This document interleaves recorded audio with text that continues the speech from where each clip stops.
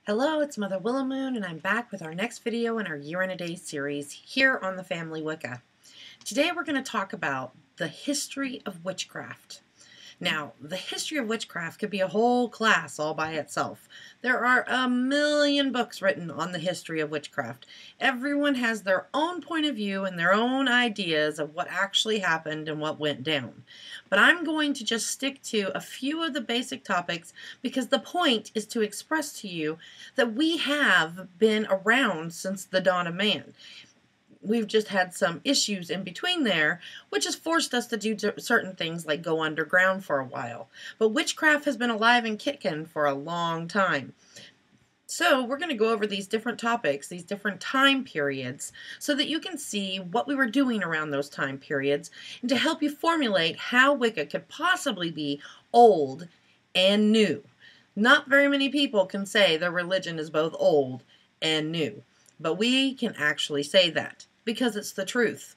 So let's go ahead and get started because we have a lot to cover. And I'm going to wrap this up by giving you some foundational authors that I believe are excellent for just starting out or refreshing your idea of what's happening in Wicca itself.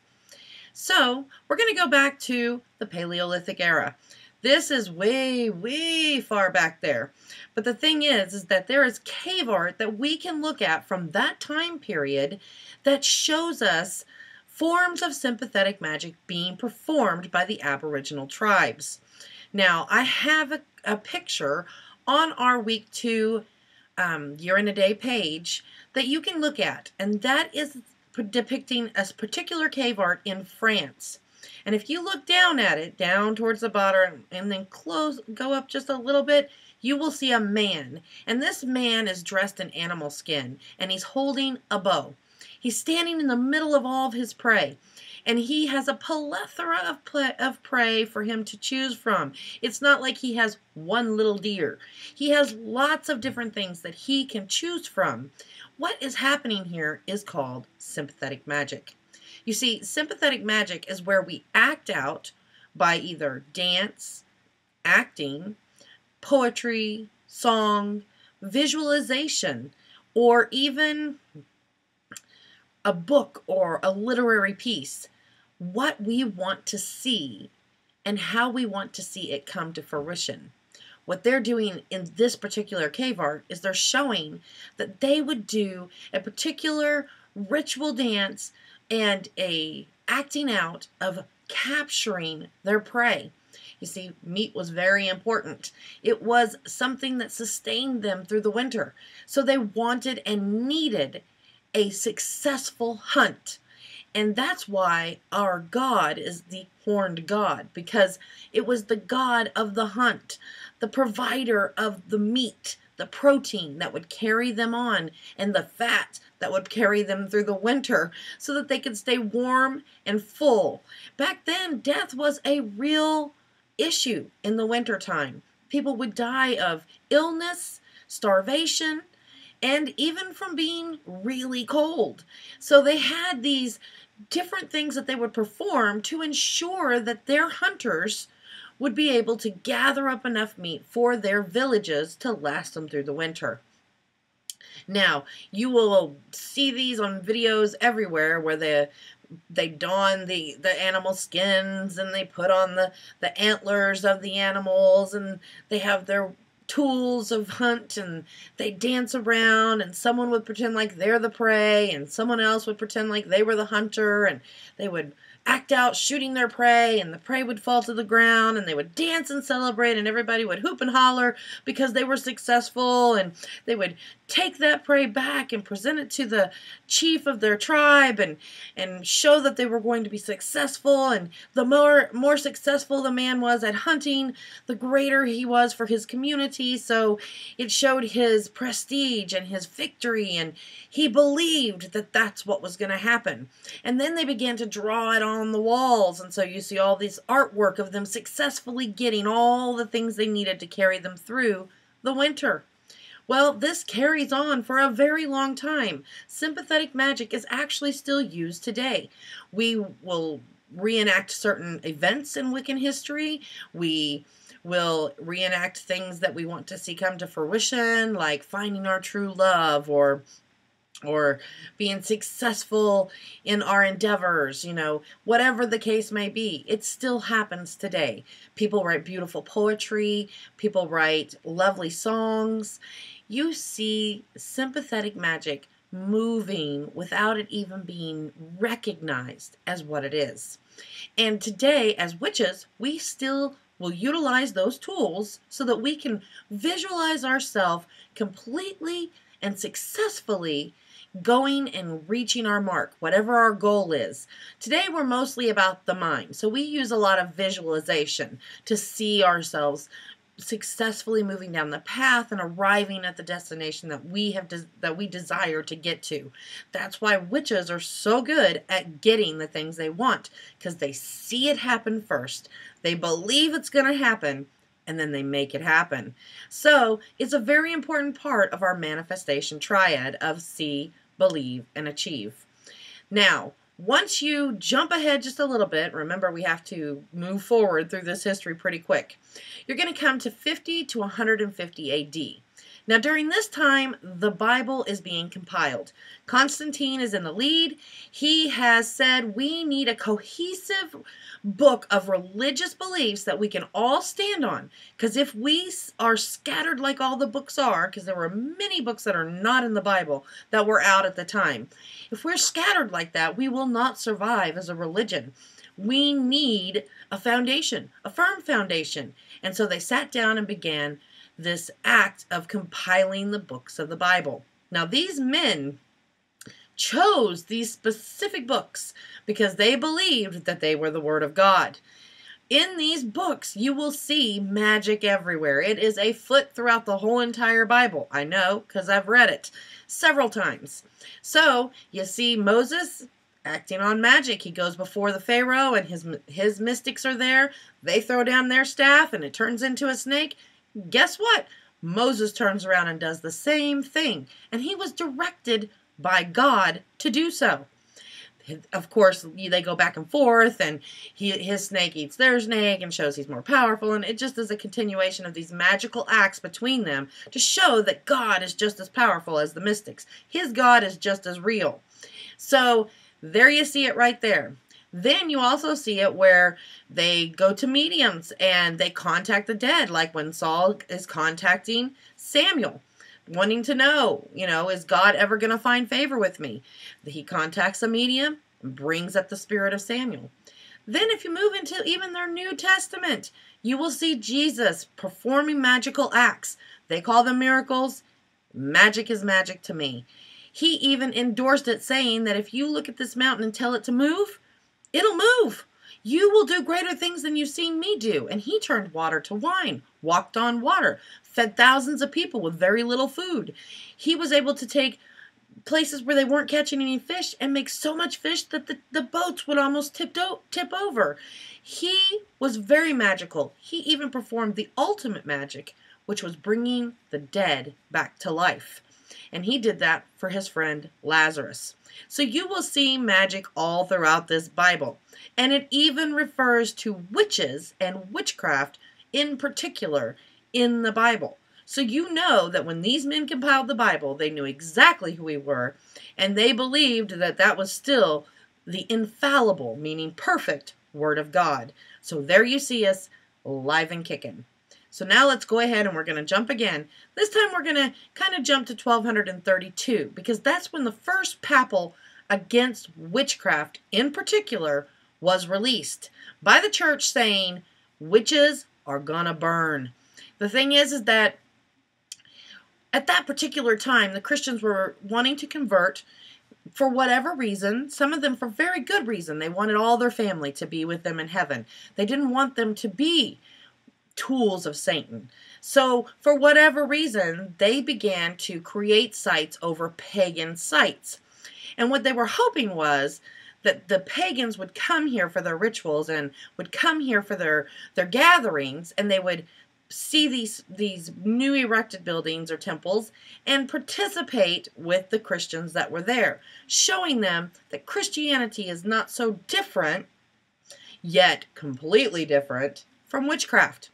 Well, unfortunately, this didn't work very well because the witches did not buy it.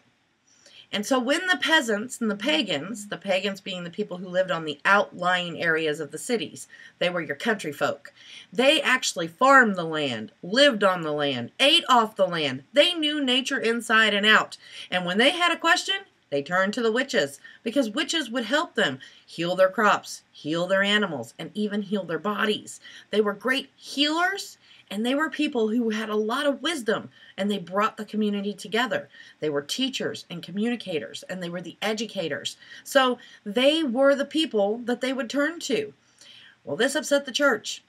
What made it even worse is that the witches weren't even the spiritual group. They were spiritual, but not even as much as the people they turned to, which were the Druids.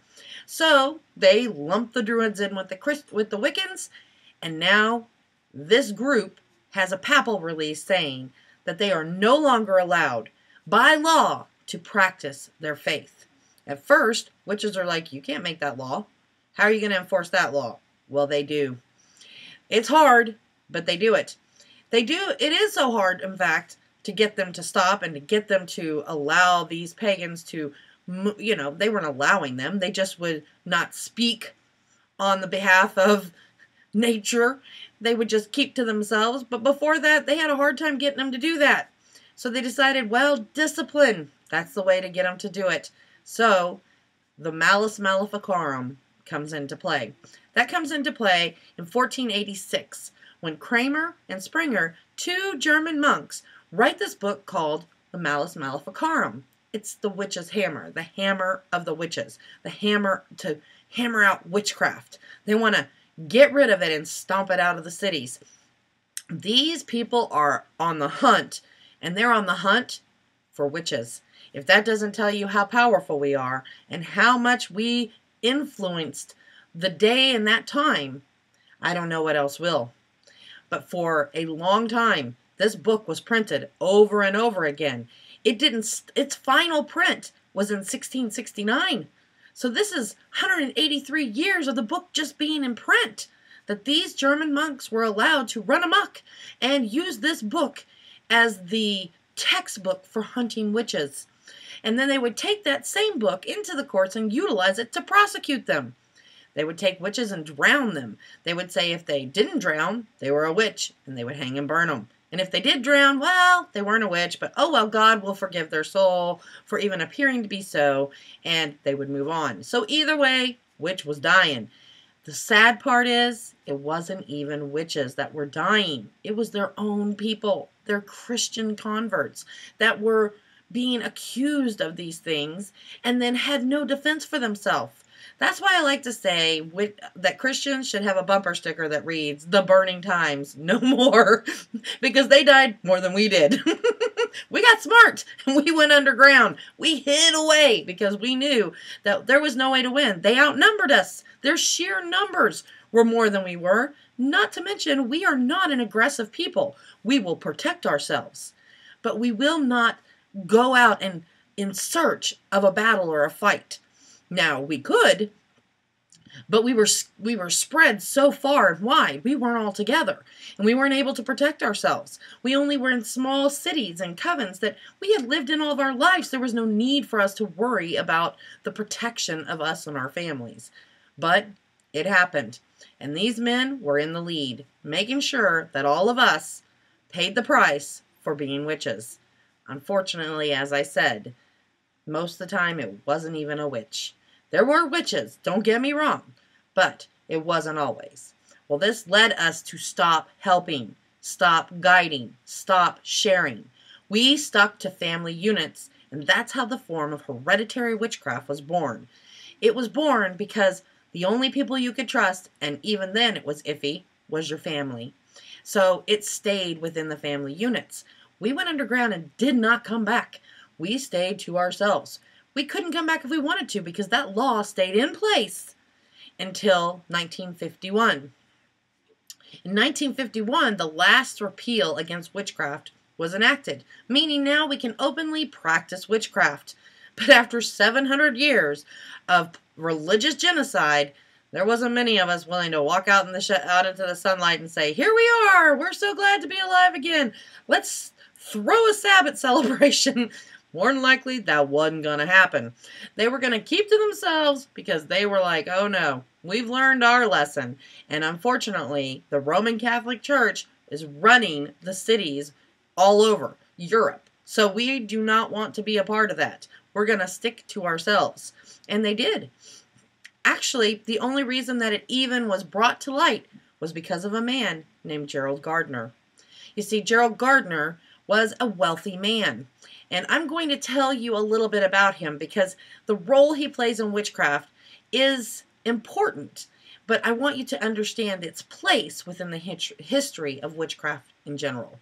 Now, this wealthy man, Gerald Gardner, he actually was a foreman on plantations that his family would send him to to improve his skills. Back then, you didn't really have a lot of colleges where you tried to get in, and yeah, you're that's how it worked. Usually, you worked under people who were good at what they did. And he went and worked on plantations to learn how to run them. Not necessarily to get out and work the fields, but to run the people who did run the fields. So he went all these different places, including Malay, to become a foreman on these plantations. Now, during his travels, he encounters many Aboriginal tribes and he studies their witchcraft, their occult behavior, that thing that's outside of Western society, that occult ideal. So he studies all the different things that they do and he realizes this stuff works. This stuff is amazing. So he starts to do all kinds of archaeological digs.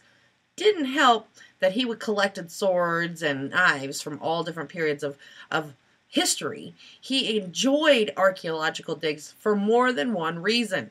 He wanted to know how the people lived and how they were before all these laws were put into place. He wanted to understand why this witchcraft was so scary and what was going on.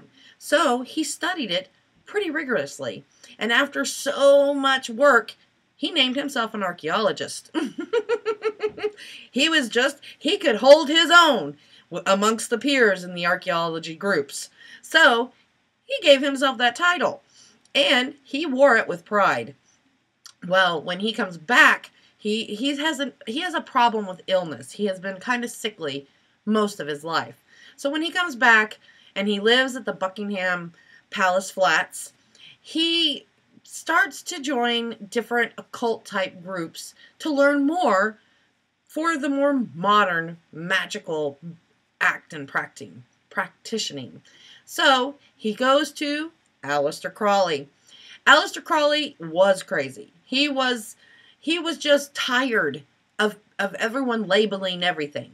And he was going to shock people into understanding you cannot dictate what I want to do. And that this is the way we live, and the way we live is totally appropriate for us. Period.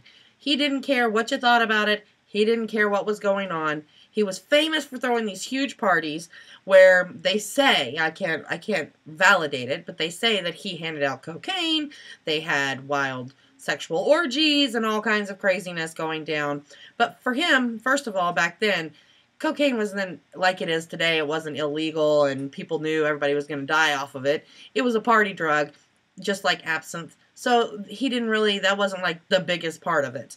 And as for the sexual orgies, to him, sex was an expression of joy and sexual desire, an animalistic thing. So, to him, that was not a bad thing.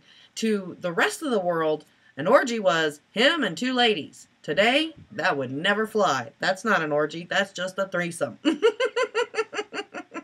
but he had his he had his quirks and his his eccentric behavior, so he got along very well with Gerald Gardner, who was also very eccentric. And they worked together. He actually worked under Aleister Crowley. Now, some people will say that he paid Aleister Crowley to give him his initiation. But see, I have a problem with that. Aleister Crowley, he may have been crazy, but he really stood by what he believed. He did not back down from it. So I doubt very seriously that Gerald Gardner, in his little sickly self, convinced him that he was going to pay him and take the initiation. Not likely. Not only that, but when he passed away, the torch was passed to Gerald Gardner to be the head of the OTO or the Golden Dawn esoteric groups. So he didn't just go in and pay the man. He actually had a relationship with Aleister Crowley and was initiated into the OTO. So much so that he got the torch when Aleister Crowley passed away. Now, when Gerald Gardner was going to come to America and take over for Aleister Crowley, he got very sick and was not able to do so. Again, he struggled with that sickness. So somebody else took the torch and ran with it from there. That left Gerald Gardner still at the Buckingham Flats, and he joined the Freemasons. He liked it because they believed in a creator. They weren't so concerned with who the creator was, and they enjoyed terms like, so mote it be, to this day. So he identified with them. He liked that they were a little bit eccentric like he was. And they were very powerful men that had excellent skills. So he joined the Freemasons. Now, when he joined the Freemasons, he came upon this group of men. They were different than most men. First of all, they hung back. They had their opinions, but they were guarded. And they weren't like most folks. They were a bit reserved but eccentric at the same time. So he naturally, like attracts like, was drawn to them. As he gets to know them better, and as they start discussing occult type issues, he finds out that this is a family of witches. They have been hiding underground for hundreds of years, passing their information down generation to generation. Well, they obviously all like each other. They all become good friends, and the women take to Gerald Gardner because of his kindness, and he is he's so charming. Even though he's sickly, he needs to be nurtured and loved. And as witches, we want to heal and nurture people. So he got a lot of attention, and they taught him all the things they knew, and he eventually earned his initiation into this family of witches. Now, once he discovered what they had, and once he saw the effects it had on himself and all of the things that he encountered, he wanted to tell everybody. He was super excited. But there was a problem. You see, those witches were not about to come out of the closet. There was some major ramifications for them, even though the law was repealed. He was not allowed to say anything regarding them whatsoever because they knew that he would not be losing a job, not able to feed his family, or unable to live in the community. He was Gerald Gardner, but they were the working class man, and they did not want to lose everything they had because people still had a stigma that witches were evil and bad. And so he did not publish anything. Now, he went to work on it, shared it with his friends, but did not publish or make public any of the understandings or knowledge that he gained from the family. And he never betrayed the family, not once. So, when the elders passed away, the repeal had come out. After they had worked on some things, he took it back and he expressed it to them and he said, I want to publish this book. I'll say nothing about you except for that you're a family. I won't give any indicators that it's you. So that I can express this because this needs to go out to the world. People need to know this is real and that it is a valid religion that has survived hundreds of years of genocide. So, the younger generations decided they believed it to be true too. They were tired of hiding, they were tired of not being able to be who they were, and they understood. So, they were willing to let him step out on the limb and if any kind of things were coming down the line, it would hit Gerald Gardner first. So they were okay with that because he would protect him and protect them and they trusted him. And he did. He wrote the first book written by a witch called Witchcraft Today, and it was published in 1954. Now, Gerald Gardner was not the father of witchcraft. He wasn't the father of Wicca, but he was the father of the reemergence of Wicca in the UK. He took a step, a leap, and stood out in front of everybody and said, I'm a witch, I practice witchcraft, and this is how I do it. And that was very brave. He was a pioneer for witches everywhere to reemerge and to come out of hiding.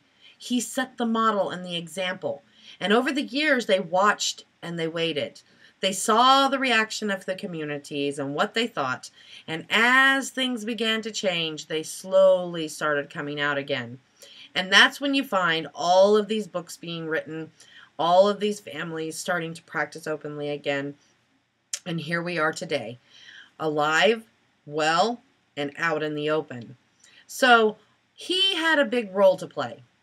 Now, after Gerald Gardner comes another very important man, and his name is Raymond Buckland. Now, in 1963, he introduces witchcraft to America. He actually opens the first coven in America. Now, we're in America. we may not have a law against it, but boy, we can treat you like crap if we don't like it. So, it was a hard road for this poor man. But you know what? He stood his ground. He learned from Gardner the very best there was not to back down. And his ideas began to spread across America. And he utilized people like Gerald Gardner and Aleister Crowley and all the different people who had come before him to say, We're valid, we're here, and this is real, and I'll teach you how. And as it began to work for other people, they began to desire to start their own covens. So, Raymond Buckland went to work, published many wonderful books on how to be a witch. He even published one that is my favorite called Wicca for Life. It is about generational witchcraft from birth to the Summerland and beyond, and it is an amazing book.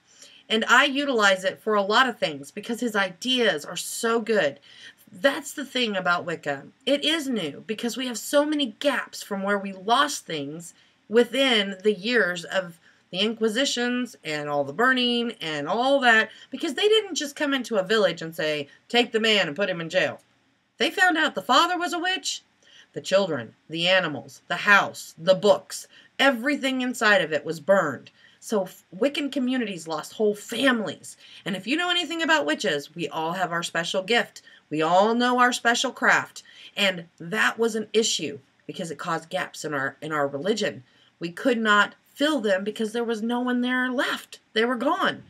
So we had to go with what we did what we did know.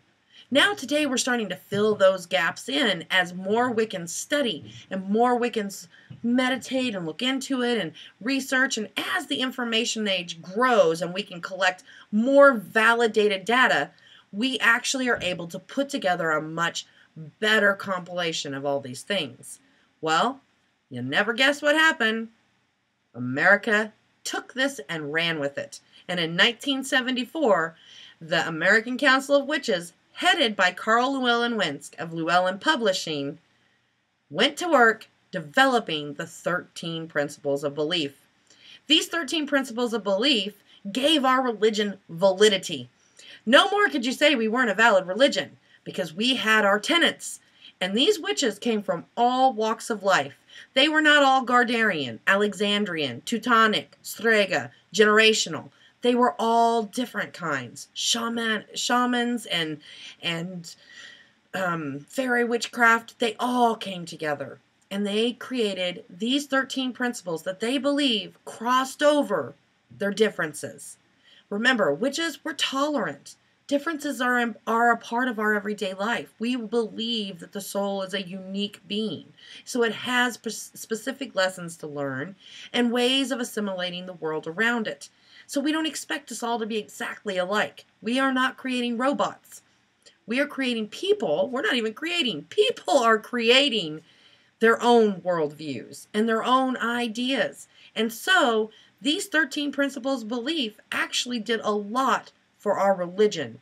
And that's why I respect Carl Llewellyn Winsk so much and why I buy so much stuff from Llewellyn Publishing. It is because this was a huge step, and these witches came out of their shells to come together to help us establish validity within the United States of America.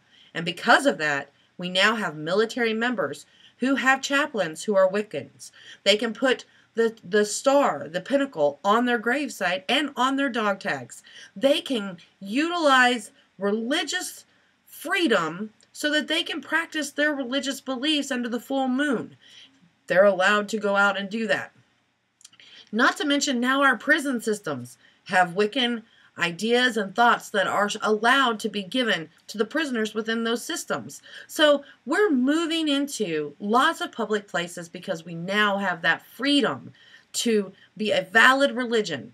Not to mention, we have lots of places that are coming up that are supporting witches everywhere because we're just like everyone else. We struggle. We're hungry. We want work. We want things to, to help us to get better. Our children get cancer. We see the things that are ugly in this world just like everyone else. And that's why we come together to support one another.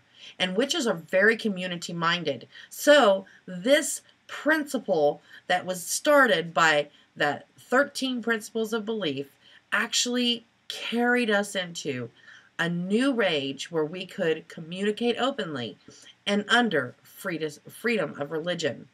That's why I'm ordained as a Wiccan high priestess because I wanted to prove my worth within the Wiccan community to those outside of it not necessarily the witches themselves, because my acts and my words will speak for themselves. We believe what you do speaks louder than what you have. So I don't believe that that's a necessity within our community, but in order for people outside the community to allow me to do certain things, I have to have that, like legal hand fastings, being able to um, stand up for children who are Wiccan within the foster care system, and many other things that I would not be able to do if they didn't request a Wiccan high priestess that's ordained. So legally, we're able to stand our ground too. And that's all because these these group of, of witches from all different walks of life helped us develop something we can all stand for. And that's why at the Family Wicca, we stand beside our brothers and sisters in witchcraft all over the world, and we stand beside those 13 principles of belief. That's also why we call ourselves Wiccan, because that is what we stand for, and we want to be identified with those of similar belief. Witchcraft, Wicca, in the history of it, it doesn't really make a difference. What you call yourself is a communication of what you believe yourself to be. So, that brings us to your most current date. Here we are, living out in the open, and now teaching out in the open. And that is a miracle in and of itself. Now, that was a quick overview of everything that we believe as Wiccans, but that is the basic gist of our history. There are many, many more things I could go into the Salem witch trials, um, all the different things that happened during the burning times, all the different villages that were burned, how some people scope it to, from hundreds of thousands to millions of people who were burned for absolutely no reason other than people for political gain. We could go into a whole lot of other stuff, but that is for another time. For now, you understand the basic parts of witchcraft, where it comes from starting at the Paleolithic age all the way to where we are now. So now that you know that, let me put your hands on some books that will actually be excellent for your foundation. I call them foundational authors and foundational books. I believe that they're things that you should read. And I don't believe with everything within those books, but the spirit and the essence, the concepts are all there. And they're just expressed in different ways. And a witch is nothing if they don't expose themselves to many different ideas so that they can create the life and the religion and the spiritual guidance that they feel is best for them as a unique individual. So let's go ahead and go over some of those books and some of those authors. First, I would tell you to read Margaret Murray's um, The Witch Cult in Western Europe because this was the idea people had of witches before witches told them what we truly were. So I read it sometimes and I laugh. because I think, really, you know, that, I mean, where did that come from? But that was the best evidence that she had at the time. So it's kind of cool to see what people thought before we were able to actually step out and say, let me express to you what we really do. The next one would be Aradia, the Gospel of the Witches, and that's by um, Charles Godfrey Leland. He wrote, uh, he put together a bunch of stories that he collected from the Strega in Tuscany. And then he created that particular guide. And Doreen Valiente actually uses some of the words straight from the Strega themselves in her books and in her writings. So it's good to find out where did that stuff come from? Well, it came from the Strega, and Charles is the one who wrote about it. Then I would tell you to move into Aleister Crowley. Now, I realize people are not real crazy about Aleister Crowley, but the truth is, he had some very valid points and very good ideas about life. And it's also important to know who he was because he is a huge historical figure in the Wiccan community. And though he is somebody that people are going to base a lot of their ideas on. So it's good for you to know who he is. And he has a, a lot of books. I've probably read most of them. There are some I haven't, but he has quite a few. But the Book of Law is a good one to start with. It's small, it kind of gives you an idea, and it tells you why he says, Do what thy wilt is the whole of the law. Of course, under love, but that's why he says it. It's a little red book, and it's really good. And I read it every couple of years just to refresh my memory of what he had to say. Then he also has many other books that you can go and look up. And again, that's Aleister Crowley. Next, I would point you to Gerald Gardner. You see, Gerald Gardner was the first witch to actually write a book about witchcraft in his Witchcraft Today. He also has another book out and a couple of books that are non that are fictional books, not non-fictional, that are fictional books that he wrote before he actually started writing about truth, the truth about witchcraft. So I would point you in that direction. Next, I would move you to Raymond Buckland because, well, he has an excellent balance. He brings it into an American perspective, and he has a lot of amazing ideas and thoughts on witchcraft and how to pass it down generationally or how to practice it as a solitaire. He also writes on gypsy magic. He, anything he comes into contact with, he assimilates it and he teaches it. And he's an excellent teacher. So I would suggest reading any of his books. And he even has a video that that goes with his blue book series. Um, his um, complete book of witchcraft. Uh, this is the book. And he actually has a video that looks just like this. And you can get that from your occult stores. Then I would have to say to move into The Spiral Dance by Starhawk. Her ideas and points of view are just really good. And the way that she writes really breaks things down in a manner that's easy to understand. So she's a very good author. The book has is world renowned for a good reason. So I would suggest getting your hands on that book. The next one would be Drawing Down the Moon by Margaret Adler. Now, remember, that's how witches charge. We draw the energy down from the moon. So it would be a good book for you to read for reference purposes. It also is a good book just because it's written by a witch. So make sure that you try to get your hands on that. It has been spread around the Wiccan community and it's a popular book. So it obviously has something that people can actually draw from. Next, I would move you to Scott Cunningham.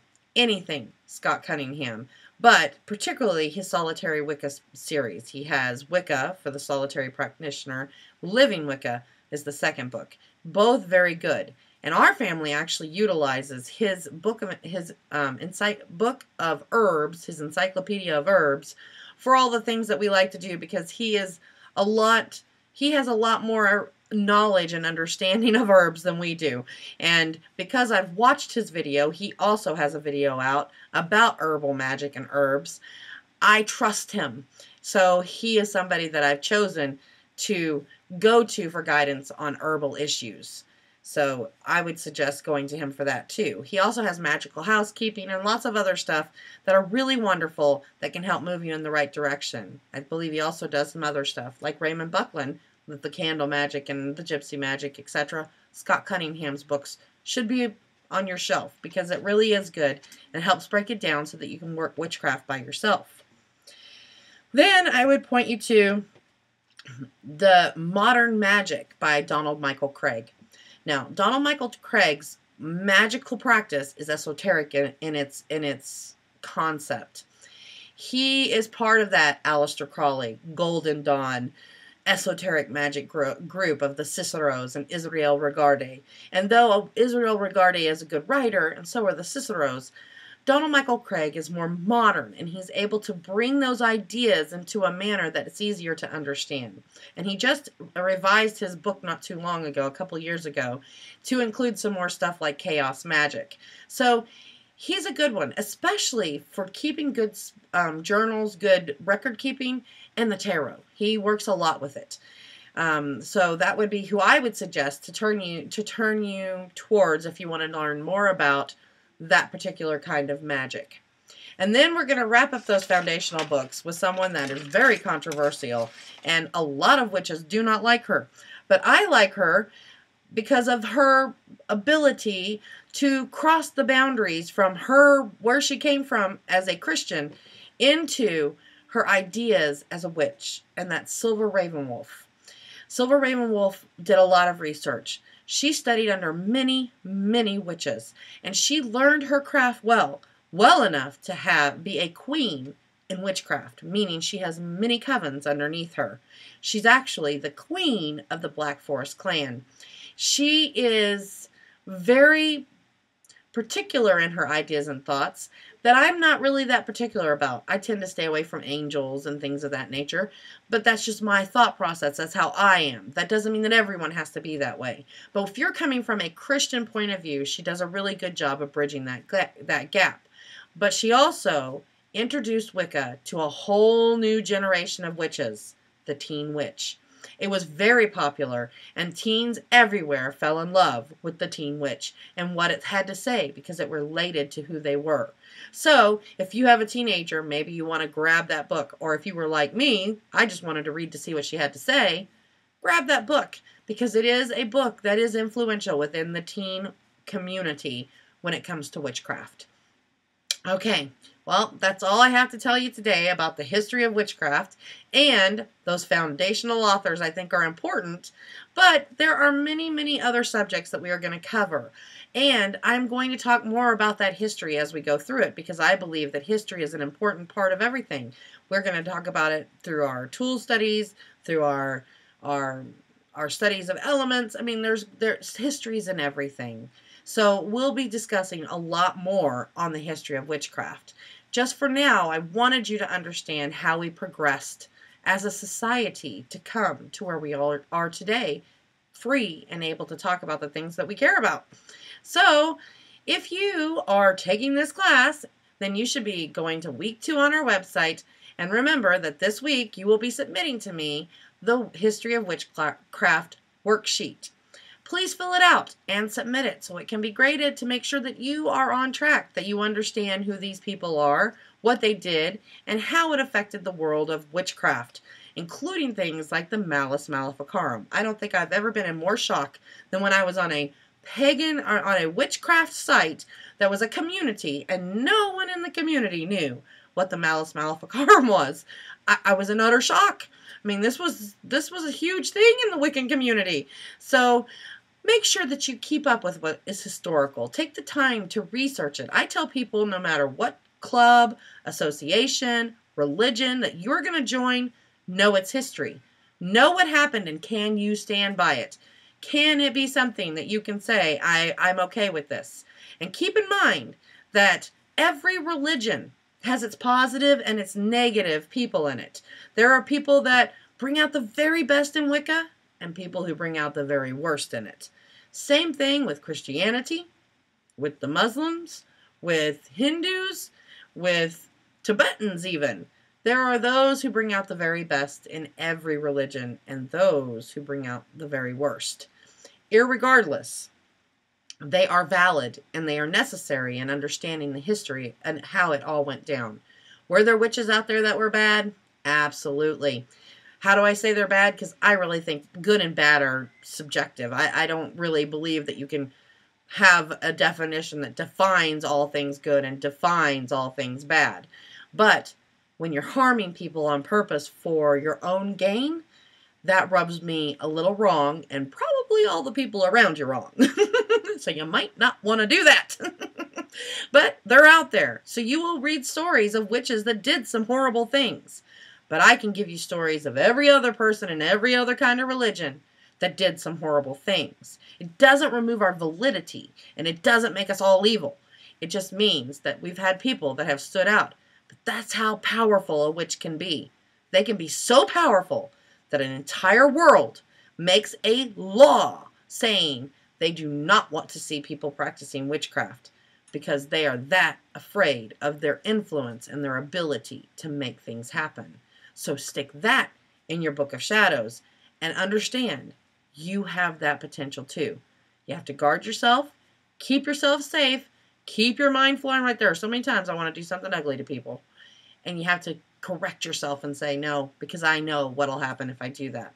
And we're going to discuss some of the important documents within the Wiccan community. So don't worry, we'll talk about those things too. Just be patient. It's all coming. This week, get that Working Book of Shadows out and make a section and call it History. And as we go through all these documents and as we go through historical facts, you can place those within your History Working Book of Shadows section. So do your homework. Don't forget to post on week two's forum and make your new section and start discovering the history of witchcraft. Until I see you next video, blessed be.